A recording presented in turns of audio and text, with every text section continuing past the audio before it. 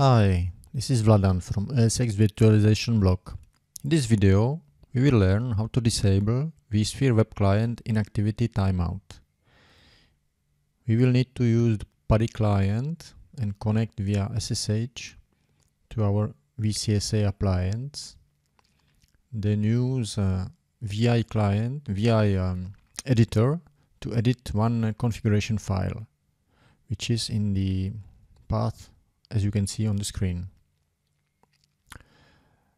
And uh, now you use your keyboard and the arrow keys to navigate to the line which says session timeout equal 120. This is the default value and we will change it to zero. So we will have no timeout. You can put another number much higher if you prefer. And then you just type 2 colon W Q to save and quit.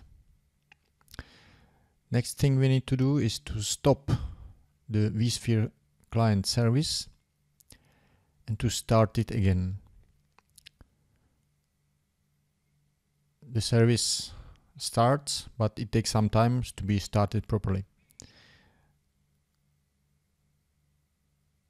This is pretty much it, and uh, you now won't have any any timeouts when you will work to during the day uh, on your environment.